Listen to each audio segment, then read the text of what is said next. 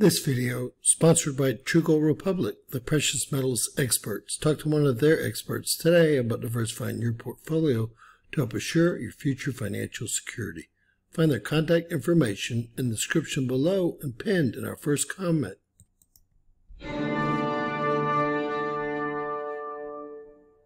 James Kaufman, World News Report today, July 19, 2024. God bless you and yours, no matter where you are in the world. Please subscribe, give us a thumbs up, ring that bell for critical future updates. Many of y'all are already aware that today we had the biggest IT outage around the globe that we've ever seen. Well, today's IT outage may be a practice run for the 2024 elections, as in election day.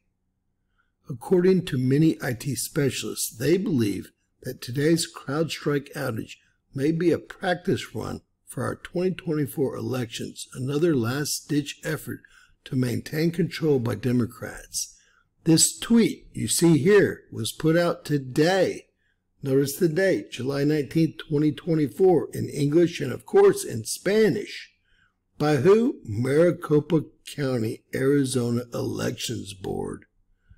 Many of you may remember that it was CrowdStrike that was working with the Democratic Party when they blamed the leak of Hillary Clinton's emails on a suspicious Russian hacking team.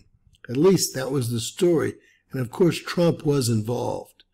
The DOJ pushed the story hard at the time and put out wanted pictures of supposed Russian hackers. Of course, this was all later proven to be lies. At the time, Democrats used the lie to run an attempted coup against President Trump, stating he was working with Russian hackers.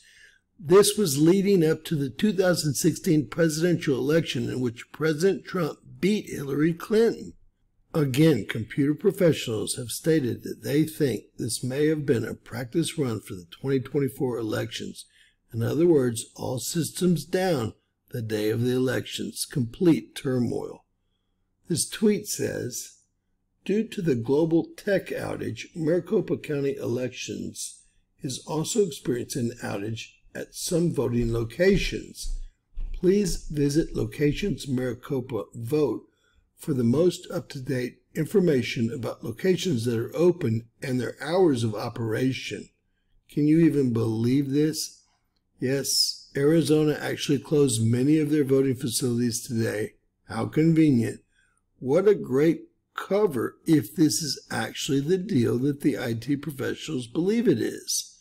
What a great practice run. CrowdStrike could shut it all down on election day, leaving everything questionable once again. God bless you and yours. Please share, subscribe, and always remember anything's possible in Bizarro World.